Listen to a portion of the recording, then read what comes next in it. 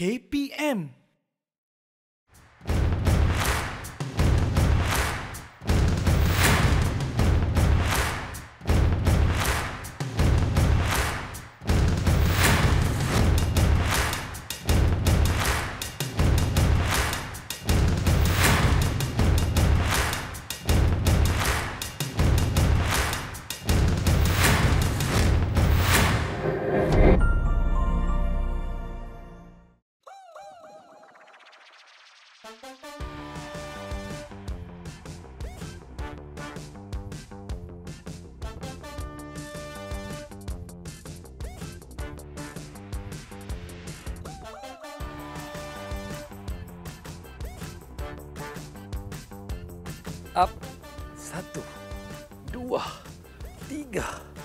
Empat.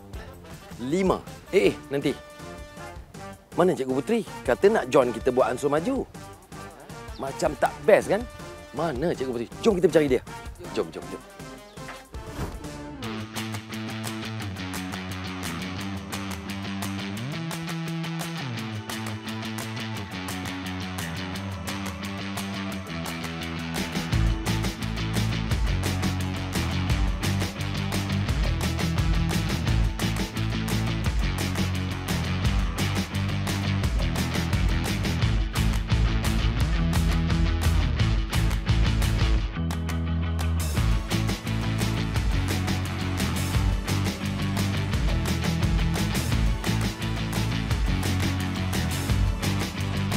Baiklah, Assalamualaikum. Kita jumpa lagi dalam Sukan Didik TV KPM. Okey, sekali lagi saya bersama dengan Cikgu Putri Liana. Ingat tak lagi kita bersama dalam uh, episod Sukan Lompat Tinggi je kan? Betul. Dan kali ini okay. adalah episod yang lebih penting rasanya. Ya, betul. Sebelum sesuatu aktiviti dilakukan, kita perlulah melakukan satu aktiviti yang dinamakan ansur maju. Ya, Ya, cikgu? betul. Boleh Betul. cikgu definasikan sikit ansur maju ni? Okey, ansur maju ni adalah permulaan latihan untuk murid-murid mengenali lompat tinggi. Hmm. Ha, Okey. So dalam pesertaan uh, ansur maju ni kita kena ada sesi latihan iaitu sesi latihan pemanasan badan. Okey. Jadi adakah ianya spesifik untuk acara lompat tinggi sahaja ataupun boleh di, diaplikasikan dalam mana-mana aktiviti yang lainnya? Okey, uh, untuk pemanasan badan ni boleh di, diguna pakai oleh uh, apa-apa sukan Hmm. pun. Alright. Cuma yang akan uh, dispesifikkan kepada lompat tinggi adalah drills.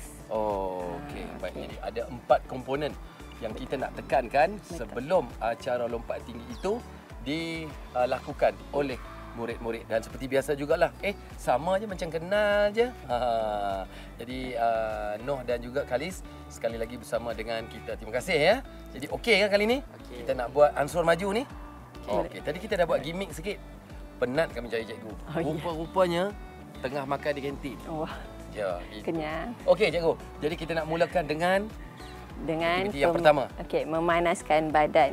Okey, untuk uh, uh, untuk memanaskan badan, Mhm. okey benda utama yang kita kena tahu bila nama je panaskan badan kita kena bermula daripada atas, iaitu kepala, tangan, uh, bahu, pinggang, lutut dan kaki. Okey, baik. Alright. Bolehkah kita join Kalis dengan Noh kan? Boleh, Oh, okey. Boleh. Saya saya ikut eh. Okey. Okey. Untuk yang pertama, kita tolak kepala ke atas macam ni. Okey, dalam kiraan 8. 1, 2, 3, 4, 5, 6, 7, 8. Okey, tunduk ke bawah. Okey, tolak. 1, 2, 3, 4, 5, 6, 7, 8. Okey, pandang ke kanan. 1, 2, 3, 4, 5, 6, 7, 8. Okey, pandang ke kiri. 1, 2, 3, 4, 5, 6, 7, 8. Okey. Tangan tarik rapat ke bahu. Okey. Tolak betul-betul. Okey. 1, 2, 3, 4, 5, 6, 7, 8. Okey, tukar tangan. 1, 2, 3, 4, 5, 6, 7, 8. Alright, pinggang. Okey. Tangan kanan pegang di sebelah pinggang kiri. Buka sikit lang- uh, kaki awak. Okey, sengit condong ke kanan. Satu, dua, tiga, empat, lima, enam, tujuh, lapan. Okey, tukar. Satu, dua, tiga, empat, lima, enam, tujuh, lapan. Okey, kita teruskan dengan lutut. Okey, tarik lutut awak rapat ke dada. Ke dah cikgu eh? Ya. Ha, saya cuba cikgu. Okey, satu, dua, tiga, empat, lima, enam, tujuh, lapan. Okey, tukar kaki. Satu, dua, tiga, empat, lima, enam, tujuh, lapan. Alright, lunges. Tahu lunges? Okey. Langkah kaki ke depan. Bengkokkan lutut. Alright. Satu, dua, tiga, empat, lima, enam, tujuh, lapan. Okey. Tukar kaki kiri. Kaki kiri eh. Okey. Satu, dua, tiga, empat, lima, enam, tujuh, lapan. Alright. Okey, last. Masuk ke dalam. Yes. Satu, dua, tiga, empat, lima, enam, tujuh, lapan. Keluar. Satu, dua, tiga, empat, lima, enam, tujuh, lapan. Okey, tukar kaki. Satu, dua, tiga, empat, lima, enam, tujuh, lapan. Keluar.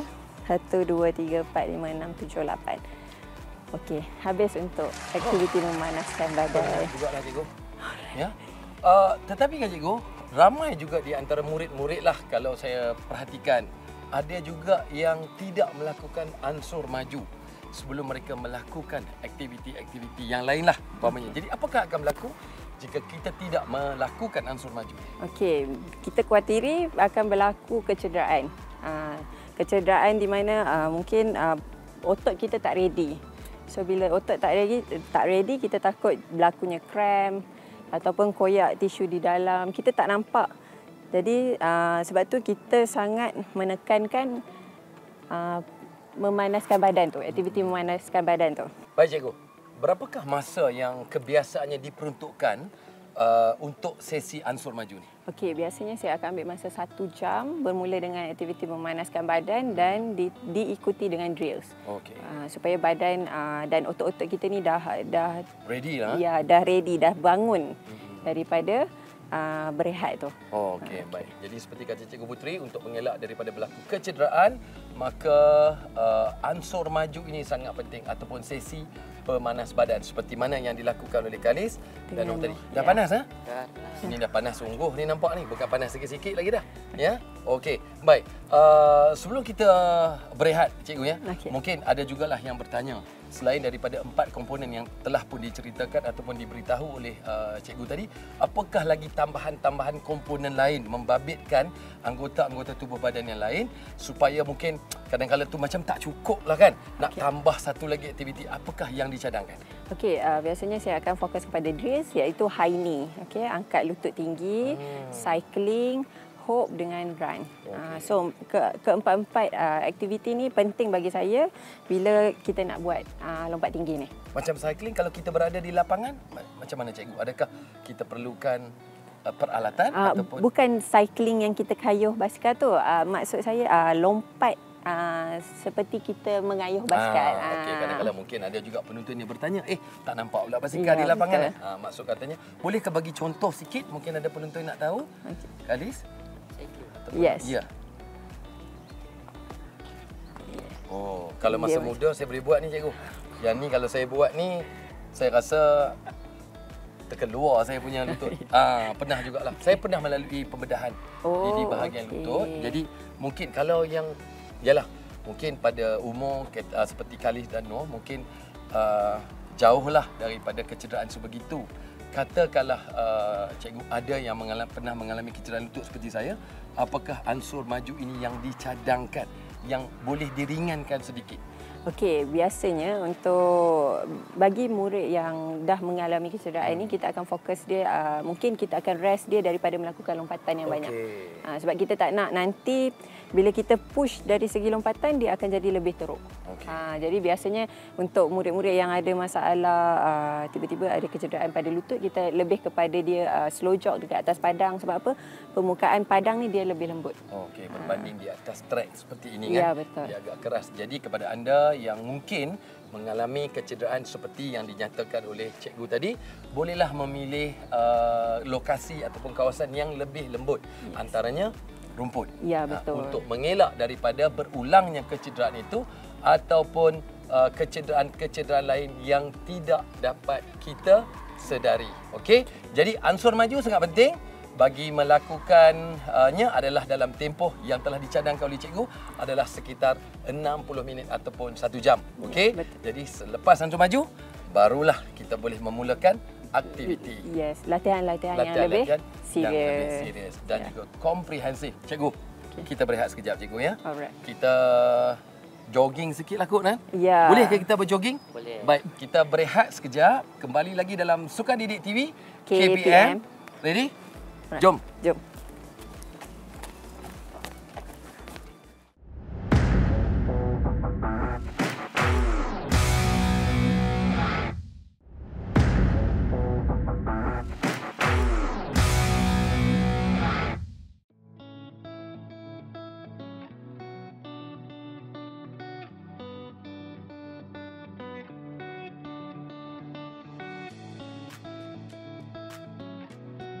Kita berjumpa lagi dalam Sukan Didik TV.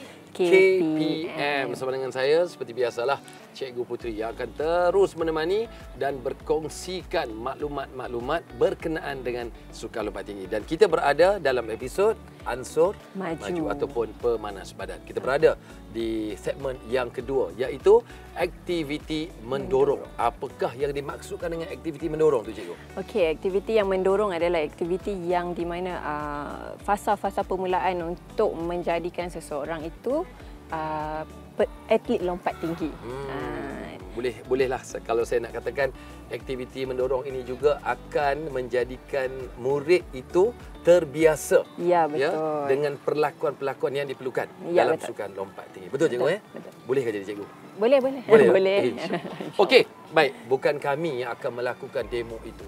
Kerana kita mempunyai dua murid seperti biasa iaitu Noh dan juga Khalis. Jadi sekali lagi cikgu jemput okay. anak murid cikgu. Kita jemput uh, Noh dan Khalis masuk. Okey. Masih lagi bersemangat ya. Okey. Ya, ini dia dua model terkemuka kita. Okey, Okey. boleh mengambil tempat untuk demo kita ah sebelah kiri. Boleh mula di sebelah sana. Okey. Jadi yang pertama cikgu apakah yang akan dilakukan oleh Khalis dan juga Noh? Okey, untuk aktiviti yang pertama adalah berjalan lutut tinggi. Okey, kenapa berjalan berjalan lutut tinggi? Sebab normally untuk uh, sukan lompat tinggi ni kita memerlukan uh, atlet tu berlari dalam keadaan uh, badan sedikit tegak. Okey, alright. Boleh tunjukkan? Okey Khalis, mulakan. Alright.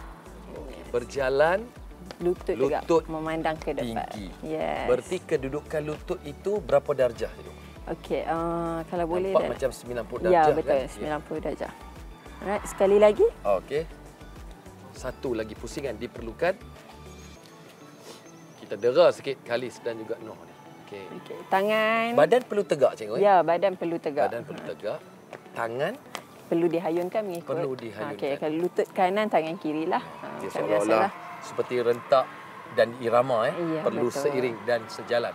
Okey, Okey. itu tadi uh, berjalan lutut tinggi. Yang kedua cikgu. Okey, yang kedua adalah berlari lutut tinggi. Okey. Dia punya uh, sama aktiviti cuma kita memerlukan murid itu untuk berlari. Oh, okey. Baik. Silakan kali lagi. Khalis dan juga Noh.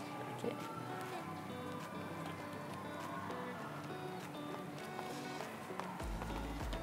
Okey, Khalis cuba badan condong sikit ke depan. Okey. Alright.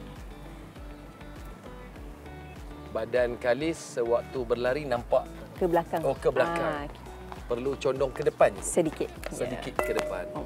Oops, Okey. terjatuh. Tak apa. Yeah. Alright. Okey, itu dia. Berjalan lutut tinggi. Jadi betul lah cikgu kan dalam uh, pakar-pakar atau jurulatih-jurulatih mengatakan bahawa lebih kerap kita melakukan uh, aktiviti seperti ini maka mereka akan mengaplikasi ketika dalam uh, acara yang acara sebenar tersebut. seperti lompat Ya, tinggi ya betul. sebab mereka dah terbiasa Betul. ya terbiasa dah menjadi satu habit kan Betul. Uh, okey yang ketiga cikgu Okey, seterusnya adalah berlari J. Okey, uh, berlari J ni adalah uh, lari uh, mengikut uh, fasa penujuan daripada uh, ten, permulaan lompat tinggi. okey Uh, Okey, so murid perlu ambil daripada uh, fasa penujuan lah di hujung berhadapan dengan tilam lompat tinggi. Okey. Kita bergerak ke sebelah kiri. Okey, Okey. Okey. Uh, Noh dan Khalis akan melakukan Fasa la- berlari, berlari J. ya. Ini Yes. memang cukup uh, sebenarnya salah satu komponen yang cukup penting eh Betul. dalam sukan lompat tinggi kerana ini juga adalah satu gerak latihan yang akan memahirkan uh, murid dalam sukan lompat tinggi ini untuk terbiasa dengan pergerakan itu kan. Yes, dengan run up tersebut. Oh, Ah, right, right. So, Jadi yang akan mulakan siapa? Noh. Okey, Noh akan mulakan. Silakan. Okey, di, Ah, jangan sampai terlanggar cikgu. Okey. Ya. okey, Kalis. Kalis.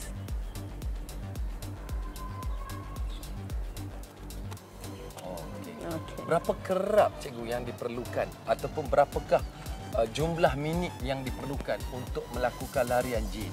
Okey, uh, untuk permulaan bagi seorang atlet ni uh, kekerapan tu mungkin uh, setiap kali kita nak melakukan uh, lompatan tu saya biasanya akan minta murid buat dalam lima kali ulangan. Oh, lima kali. Uh, bulan. so bila benda berulang ulang ulang ulang lama uh, murid ni dia akan uh, terus sematkan dekat dalam minda okey. Baik.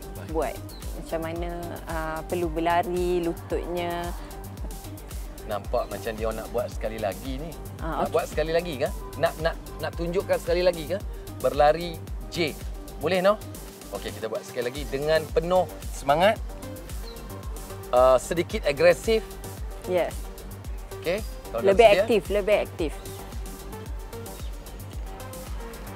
yes okey Kalis.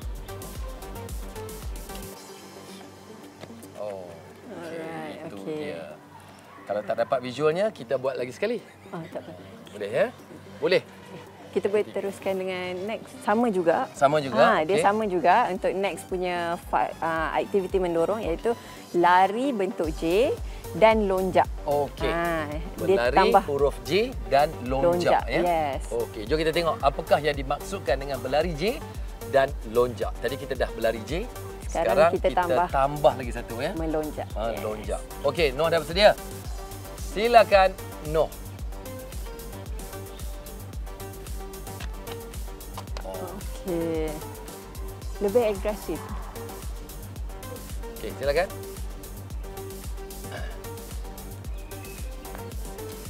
Okey. Alright. Okey. Uh, ketika melonjak tu perlu dua tangan di udara ke satu? Oh, Okey, untuk uh, melonjak ni keselesaan tapi yang memang penting kita kena angkat salah satu uh, Oh. kita kena angkat tangan kiri. Tangan kiri. Uh, ada yang atlet terbiasa angkat dua-dua tangan. Okey. Ada yang atlet lebih selesa dengan tangan kiri. Oh, okay. Memang pada kebiasaannya kalau kita menonton di mana-mana media platform, mm-hmm. memang sebelah tangan itulah Ya. yang seolah-olah membantu ya, Ya, uh, betul. lompatan itu berlaku. Okey, kita telah pun menamatkan uh, keempat-empat komponen di dalam aktiviti mendorong. Yang pertama tadi kita dah buat berjalan lutut tinggi, Cikgu, ya. Yang yes. kedua, berlari lutut tinggi. Okey. Yang ketiga berlari uh, bentuk huruf J okey, dan berlari huruf J bersama dengan lonjakan. lonjakan. Jadi kita dah pun lihat bagaimana uh, murid uh, ataupun adik Noh dan juga Kalis telah pun menunjukkan kepada kita komponen-komponen yang penting dalam aktiviti mendorong. Okey Ya, cikgu, betul. nampaknya dah banyak jugalah uh, ilmu-ilmu yang saya yakin sekali ibu bapa dan juga murid-murid terutamanya guru-guru yang sedang menonton kita pada ketika ini uh, bolehlah menggunakan uh, maklumat-maklumat ataupun uh, bahan-bahan yang telah pun dikongsikan oleh Cikgu Putri. Jangan ke mana-mana, kita ada lagi uh, dua segmen yang kita akan dua lagi segmen yang akan kita kongsikan uh, kepada anda. Betul Cikgu ya? Okey. Okey. Uh, kalau tak tak uh, tak keberatan boleh kita panggil uh, peserta uh, murid-murid Murid. untuk cuba sekali lagi. Boleh cikgu, Ah, boleh, boleh. Jadi kita persilakan sekali lagi Kalis dan juga Noh Sekali. untuk merangkumkan lah eh. Ya, betul. Merangkumkan.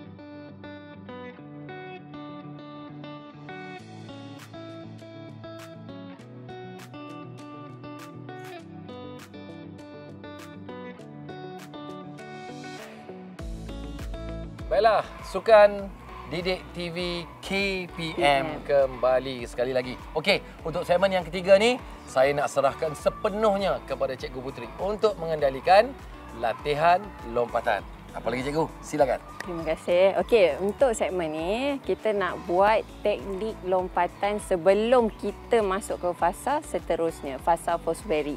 Okey, uh, untuk yang pertama kita akan buat lompat gunting. Okey, uh, boleh saya ni? Silakan cikgu. Boleh ikut saya. Nampaknya cikgu Putri dah pun bersedia untuk mengendalikan sesi latihan untuk segmen latihan lompatan. Silakan cikgu. Okey. Pertama, okey kita ambil uh, permulaan di kawasan permulaan. Okey, ready untuk lompat.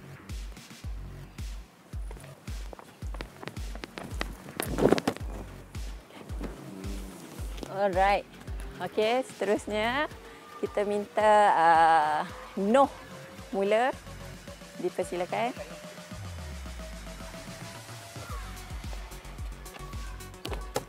Okey. Seterusnya Khalis.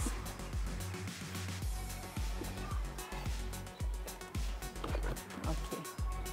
Hmm. Okey.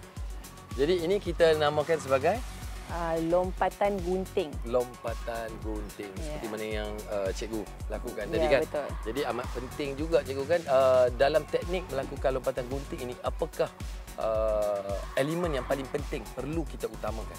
Okey, pendaratan. Okey, sebenarnya saya pilih lompatan gunting ni untuk fasa latihan kepada murid di bawah 12 tahun ni sebab sebelum mereka nak berani lompat first berry flop, kita uh, mungkin uh, mereka tak tahu macam mana dia orang perlu turn badan. So jadi saya ambil gaya gunting ni dengan teknik dia uh, di di pendaratan mereka duduk.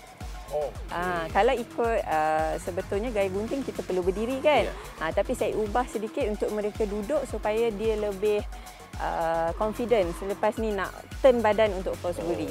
uh. Jadi itulah pengalaman yang dimiliki oleh Cikgu Putri uh, ketika zaman muda beliau lah. Uh, sekarang pun muda ya tetapi lebih fokus kepada kejurulatihan dan mendidik murid-murid khususnya di sekolah rendah Taman Tun Dr. Taman Tun Dr. Okey, tak apa.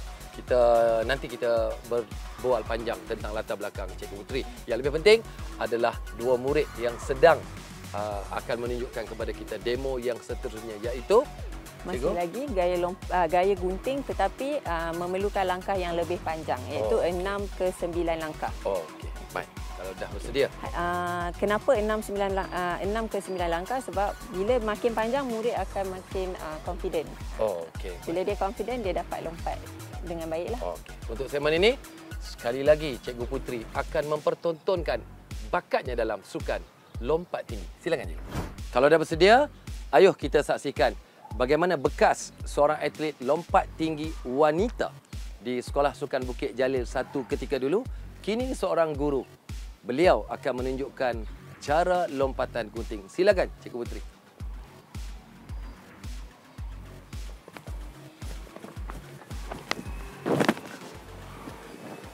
Tahniah Cikgu, satu lompatan yang cukup menarik sekurang-kurangnya kerinduan di kalangan peminat-peminat Cikgu terubat. Okey? Baik, kita nak saksikan pula anak didik Cikgu Putri untuk melakukan lompatan gunting okay. ini ya. Alright. Okay. Dipersilakan Noh.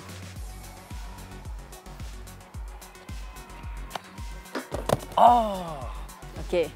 Apakah kesilapan yang dilakukan oleh Noh? Okey, kalau dilihat tadi Noh lari tak konsisten dengan lonjakan yang kurang kurang uh, cukup maksudnya tidak betul-betul agresif. Oh, okey menyebabkan palang telah pun terjatuh ya. Ya, betul. Okey dan perlu diulang. Baik, lompatan yang dilakukan oleh Noh tadi gagal dan kita berikan peluang yang kedua kepada Noh. Apa kata cikgu? Boleh? Uh, boleh. Oh, okey. Jadi Noh kita harap lompatan dan larian kali ini lebih kemas, lebih agresif bagi membolehkan anda melepasi palang ini. Silakan.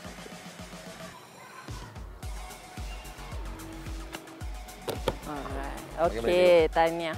Okey, baru nampak dia punya uh, fasa apa? Larian, loncat dia baru nampak perfect. Tahniah, tahniah untuk adik Anwar. Baik, seterusnya cikgu. Okey, seterusnya adik Kolis, dipersilakan. Alright, okey. Kalis nampak nampak Uh, uh, lebih konsisten sedikit. Ya, eh. betul. Bukan kata Noh tidak konsisten, tetapi kadang-kadang Noh uh, tersasar Tersasar, sedikit eh fokusnya. Mungkin cuaca cikgu. Mungkin Boleh cuaca. jadi cuaca. Cuaca. Okey. Tak gementar. Okey. Baik, itu dia lompatan yang telah dilakukan oleh Noh dan juga Kalis untuk latihan lompatan segmen kita yang ketiga.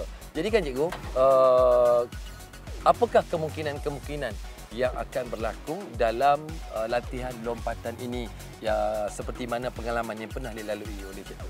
Okey, uh, kemungkinan. Okey, kemungkinan tu uh, contoh macam bila kita tak ada training yang cukup, kita takut uh, kita tak dapat nak buat apa yang sepatutnya. Contoh dari segi pusingannya, dari segi uh, macam mana kita nak turn badan tu. Uh, tengah budak kalau uh, kita ajar terlalu banyak. Contoh macam okey awak kena take off, awak kena landing, dia tak dapat.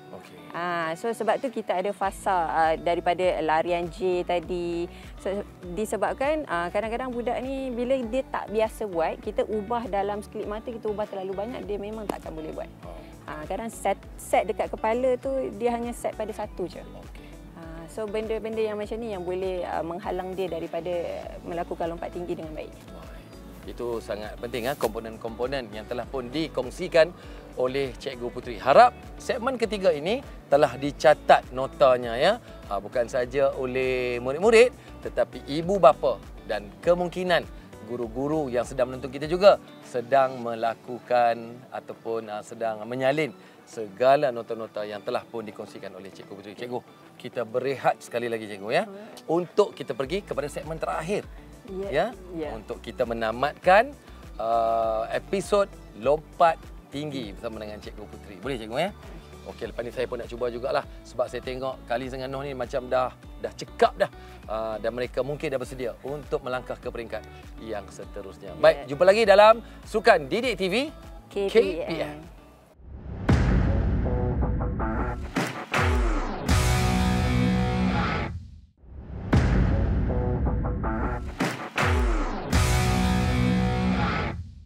Kita berada di segmen yang terakhir untuk episod Lompat Tinggi bersama dengan Cikgu Putri dari Sekolah Kebangsaan Taman Tun Dr. Ismail yang juga merupakan seorang guru pendidikan jasmani. Baiklah Cikgu, sebelum kita berakhirkan Cikgu, mungkin uh, saya dan juga penonton mungkin nak tahu sedikitlah dah berapa lama uh, bertugas sebagai seorang guru pendidikan jasmani. Okey, saya baru saja uh, bergelar sebagai seorang guru dalam uh, lima tahun.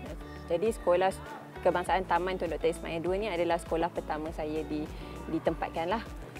Okey, so uh, dan saya juga baru baru berjinak-jinak membawa budak pergi ke MSSM pada tahun ini. Oh, okey. Jadi bagaimana prestasi untuk tahun ini MSSM? Uh, Alhamdulillah, okey kalau kalau dilihat daripada result uh, pada tahun ni uh, high jump kita MSSM under 18 uh, gold medal lah, emas lah.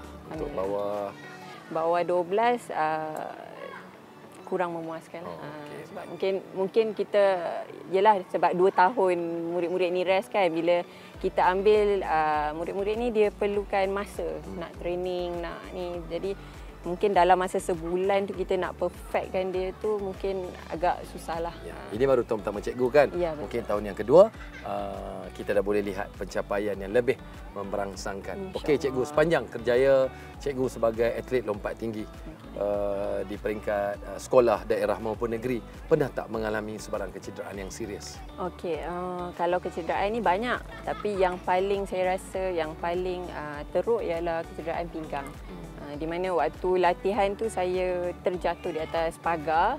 Jadi saya perlu ambil masa dalam 6 bulan untuk rest. Uh, saya dengan fisio. Jadi uh, sepanjang itu saya perlu pakai uh, macam bengkung yang besi tu kan uh, supaya kita tak tunduk, kita kita tak tak menggunakan pinggang uh, dengan uh, apa pergerakan yang banyak lah. Oh. Uh, so 6 bulan tu recover dan terus ke next game lah. Adakah kecederaan seperti ini biasa di kalangan atlet-atlet lompat tinggi? Okey, untuk kecederaan pinggang ni bagi saya lah kan pendapat saya biasa. Sebabnya ialah kita memerlukan uh, bila nama lompat tinggi ni kan dia ada fasa layangan dia itu kadang-kadang kan jatuh atas palang. Jadi benda-benda tu normal lah kalau kecederaan pada pinggang tu. Ha. Oh, okey. Cikgu, kalau kita melihat kepada senario uh, lompat tinggi di negara kita khususnya, usaha-usaha uh, begitu banyak sekali telah dilakukan oleh KPM sendiri melalui Majlis Sukan-Sukan Sekolah Malaysia untuk me- melahirkan sebutir permata dalam uh, lompat tinggi. Siapakah uh, bintang-bintang lompat tinggi negara yang pernah uh, memberikan didikan dan tunjuk ajar kepada cikgu? Okey, kalau atlet uh, saya boleh katakan uh, Lee Hak Wei uh, dan uh, Noliana Kamaluddin. Okey, dua-dua ini adalah atlet uh, yang saya rasa berjaya lah. Uh, Okey, uh, dan mereka ni lah yang banyak tunjuk ajar, yang banyak bagi teguran uh, jika ada macam uh, penambahbaikan. Uh, mereka-mereka ni lah yang akan sentiasa mendorong saya, bagi saya semangat untuk terus dapat buat lompatan yang lebih baik lah. Dalam banyak-banyak uh, sukan, kenapa lompat tinggi? Siapa yang yang memulakan? Uh, siapa yang menginspirasi dan mendorong Cikgu Putri untuk terlibat dalam sukan lompat tinggi? Okey, uh, dalam sukan lompat tinggi ni uh, dia sebenarnya luar jangkaan sebab saya ni nak kata permulaan dengan lompat tinggi sebenarnya lambat.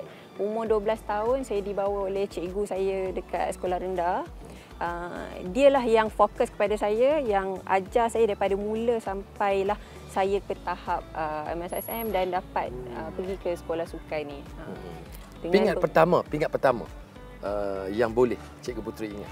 Uh, MSSM 12 tahun pingat emas. Alhamdulillah. Alhamdulillah. Lepas tu bila dah di, diberi peluang masuk ke sekolah sukan, uh, waktu form 1 saya dibawa ke Thailand Sports School. Okey. Alhamdulillah pingat emas. Uh, lepas tu saya dapat pergi ke Little Athletic Australia. Juga saya dapat merasai emas tu. Hmm, macam tak ada cabaran kan? Ada sebenarnya ada cabaran tu tapi uh, mungkin uh, dekat situ mungkin nak kata apa eh, rezeki saya ke uh, Bukan, bukan berbekalkan mungkin. semangat. Sebab Cikgu Putri adalah seorang atlet lompat tinggi wanita yang cukup hebat dan luar biasa. Tapi sayang, disebabkan oleh uh, keputusan yang diambil untuk meneruskan uh, dalam bidang pendidikan, maka Cikgu Putri terpaksa meninggalkan lompat tinggi. Tapi tak apa Cikgu, kita masih berbangga kerana Cikgu menyumbang pula tenaga untuk melahirkan bakat-bakat baru dalam sukan lompat tinggi. Jadi apakah harapan Cikgu sendirilah uh, untuk masa hadapan khususnya dalam sukan lompat tinggi? Okey, uh, harapan saya adalah uh, saya nak cuba untuk menjadikan seseorang tu atlet lompat tinggi yang berjaya. Yang saya, mungkin mungkin saya boleh sumbangkan seorang atau dua orang atlet ke sekolah sukan Bukit Jalil. Mungkin, insyaAllah. Uh, lelaki mungkin kita dah nampak melalui Noh dan juga Kalis. Uh, adakah di sekolah cikgu mempunyai atlet wanita untuk lompat tinggi? Uh, buat masa sekarang belum lagi dan mungkin insyaAllah tahun depan akan diusahakan. Oh, Okey, baik. Kita mendoakan uh, agar Cikgu Putri dapat terus menyumbang kepada negara khususnya untuk melahirkan lebih ramai lagi atlet-atlet dalam sukan lompat tinggi. Baik, itu sedikit sebanyak latar belakang tentang Cikgu Putri. Baik Cikgu, kita rangkumkan balik apakah yang telah pun kita kongsikan kepada penonton-penonton di dalam uh, episod lompat tinggi kali ini iaitu Ansur Maju. Maju. Okey. Baik, kita bermula dengan Ansur Maju. Ini penting, sesi pemanas badan. Mungkin cikgu boleh rangkumkan sedikit. Okey, alright.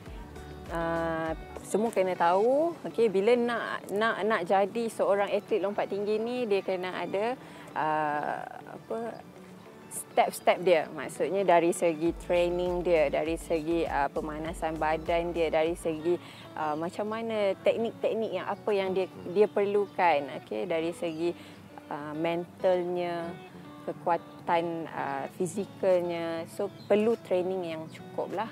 Okay. Uh, lepas tu uh, bila dah ada training yang cukup perlu berterusan. Ya.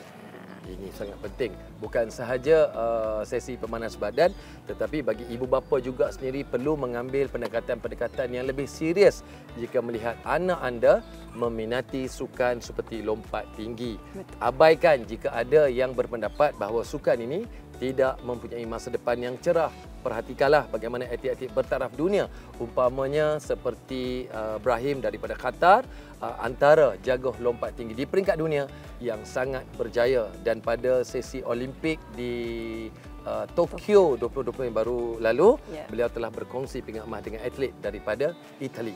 Malah di negara kita uh, Naurat Singh antara atlet lompat tinggi yang berjaya bukan saja di peringkat tempatan malah di peringkat antarabangsa dan inilah salah seorang lagi, seorang guru sekarang ini juga merupakan uh, bekas atlet lompat tinggi wanita yang berjaya dan hari ini beliau bertanggungjawab untuk melahirkan sebutir permata di negara kita. Okey, sesi pemanas badan dah pun kita rangkumkan. Kita okay. terus pergi ke segmen yang kedua, ketiga. Jadi ini sangat penting. Boleh cikgu rangkumkan sedikit? Uh, Okey. Larian J, larian ya, berlari betul. lutut dan sebagainya. Yes, betul. Uh, Okey, untuk segmen uh, yang kedua dan ketiga ni, okey, semua kena ingat ya, uh, bila nak kita nak nak mahir dalam lompat tinggi ni, kita kena tahu fasa larian kita. Hmm. Okey, kita kena ikut apa yang uh, orang kata apa yang bersesuaian dengan lompat tinggi tu supaya kita dapat melompat dengan lebih baik. Okey, jika bukanlah saya nak kata uh, jika dia ambil sudut yang lain tak dapat menjadi lompat uh, pelompat tinggi yang terbaik tapi uh, kita sekadar uh, kalau boleh diubah menjadikan dia lebih baik apa salahnya kan uh, okey jadi uh, penekanan saya adalah uh, untuk atlet yang nak menjadi atlet lompat tinggi kita ubah run up kita kita ubah run up kita sebabnya uh, sometimes kita tengok jarang orang nak menitik beratkan uh, cara larian tu uh, dari segi semua nak ambil jalan pintas. Ya, ya betul. Kadang kita nampak uh, dia orang ni just uh, janji lepas lompat uh, dah cukup berjaya. Oh, okey. Uh, okay. Jadi itu dia pesanan daripada seorang guru yang juga merupakan bekas atlet lompat tinggi di negara kita. Okey, baik. Uh, Kalis dan Noh sudah bersedia untuk bersama dengan anda sekali lagi satu demo keseluruhan daripada empat episod yang kami bawakan kepada anda iaitu lompat tinggi. Noh yes. dan Kaliza ya, akan betul. memberikan satu persembahan yang cukup mantap yang cukup hebat dalam acara lompat tinggi. Cikgu, okay. rasanya kita sampai di sini saja. Jadi cikgu nak uh, bawa lagi sekali? Okey. Okey, uh, okey untuk untuk lompatan ini saya uh, minta Noh dan Kalis buat teknik lompatan uh, Fosbury Flock. Oh, uh, ini okay. teknik yang inilah teknik yang terkini ya, uh, ya. sedang digunakan oleh semua uh, atlet di semua peringkat sekolah, daerah maupun di peringkat yang lebih tinggi. Okey cikgu? Okay, boleh. Kalau okay. sudah bersedia kita nak persilakan Noh dan Kalis tetapi Betul. sebelum itu sebelum itu saya nak ucap terima kasih kepada Cikgu Putri kerana sudi bersama saya. Saya amat berbesar hati dapat bersama dengan Cikgu Putri, maklum sajalah seorang atlet dan juga seorang guru. Saya pernah juga Cikgu uh, terlibat dengan sukan lompat tinggi di peringkat sekolah. Malah pernah jugalah memenangi pingat emas. Uh, tetapi tidak panjang kerjaya saya kerana saya lebih memberikan tumpuan dalam sukan lain. Okay. Oh, okay. Tetapi tak apa, all the best untuk Cikgu. Semoga terus maju jaya. Selagi anda ada kemahuan dan juga kesungguhan, insya-Allah anda akan berjaya. Jumpa lagi dalam Sukan Didik TV KPM. Assalamualaikum.